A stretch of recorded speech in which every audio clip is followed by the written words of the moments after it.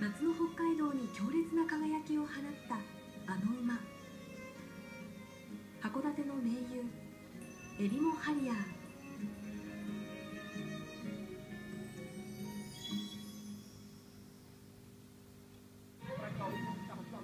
2歳でデビューしたエリモハリアーでしたが奔走が続きなんと初勝利はここ北海道でした。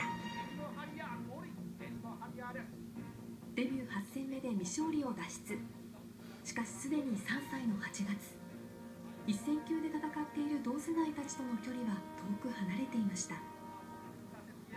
その後およそ2年間条件性を舞台に走り続けたエリモハリアー。負けても負けても走り続けるそのひたむきな姿勢が報われるのはここ函館でした。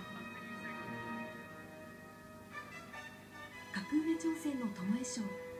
5歳馬のエリモハリアーは単勝7番人気。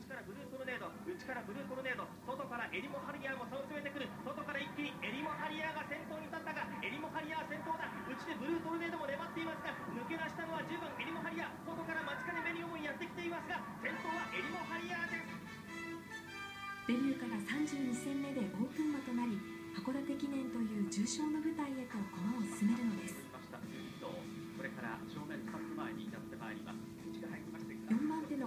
けると直線では鋭い足を披露します。ウィングランクウィングランク追い込んでくるさあになりました先頭はエリモハリアーかエリモハリアーそこウィングランク内で粘ったブルートルネードエリモハリアー1着で5人2番手は接戦エリモハリアー勝ちました北村航平騎手を背に勝利。陣馬ともに初重賞制覇を成し遂げますその後重賞舞台に勝ちきれずとも前線を繰り返し迎えた2006年の函館記念。一番人気に支持されたエリモハリアーは有力馬エアシーリーを直線で差し切り連覇を達成します。しかし次走の札幌記念の後屈腱炎を発症。復帰戦の巴賞を最下位と大敗し迎えた3度目の函館記念。強豪ぞろい前走の大敗。エルモハリアーは7番人気と低い評価でした。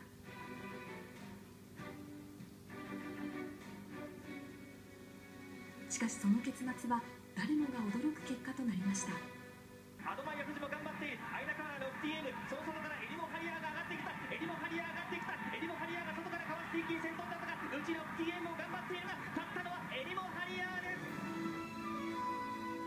では史上3頭目となる同一重賞3連覇という快挙を成し遂げ函館記念の歴史にその名を刻んだのです。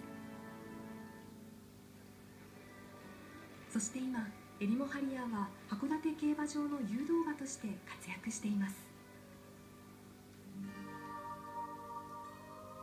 入ってきた時にはですねなかなか気性が強くてあの中途半端に強い人だと俺の方が強いぞって顔を張っちゃうんであのよっぽど強い人がガツッと上から乗ってギシッとやるとごめんなさいってやるんですけれどもなかなか彼はごめんなさいをしない馬なんでちょっと手を焼いています、はい、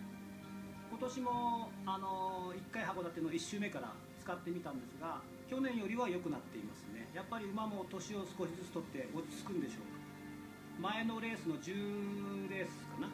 エリモハリアカップという冠名も付けさせていただきましたのでそれにはもちろん出させていただきますし函館記念も前方の誘導をしっかりとやらせていただきたいと思います。自分の居場所となった函館から次のレジェンドを送り出していきます。